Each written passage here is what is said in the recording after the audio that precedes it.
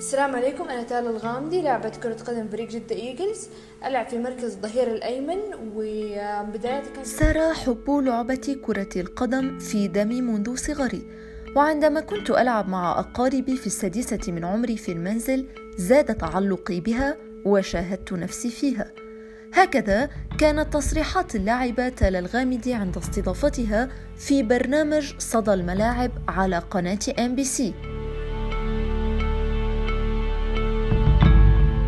تالا الغامدي هي لاعبة في مركز الظهير الأيمن مع فريق جدة إيجلز. تعشق المستدير منذ طفولتها وتعمل على تطوير نفسها لتمثيل المنتخب السعودي والاحتراف عالميا رغم أنها واجهت صعوبة في البداية بسبب قلة الأكاديميات المهتمة بكرة القدم النسائية لكنها باتت تزداد الآن يوما بعد يوم.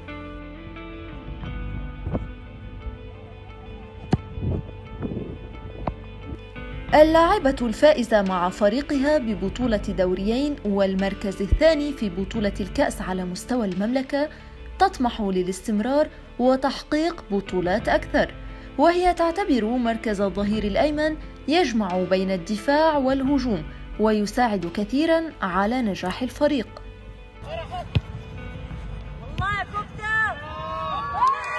تالا التي لاقت دعما كبيرا من عائلتها عندما كان اللعب في دوري نسائي حلمها تمكنت من تحقيق هذا الحلم خاصة بعد ظهور المواهب النسائية المتألقة في المملكة ودعم الرياضات النسائية مثل إعلان نادي الوحدة رغبته في تكوين فريق كرة قدم نسائي.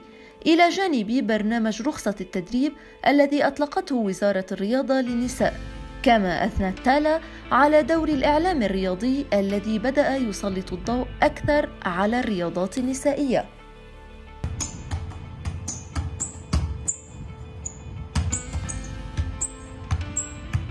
أما المثل الأعلى للاعبة السعودية فهو ترند ألكسندر أرنولد نجم ليفربول الإنجليزي لكونه يمثل الطريقة العصرية للاعب الظهير الأيمن برأيها.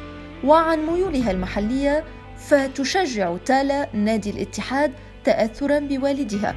ولاعبها المفضل في النادي هو سعود عبد الحميد لكونه يلعب في مركز الظهير الذي تلعب فيه وصفة إعجابها الشديد بطريقة لعبه وتمنياتها بأن تقتدي به في الملاعب.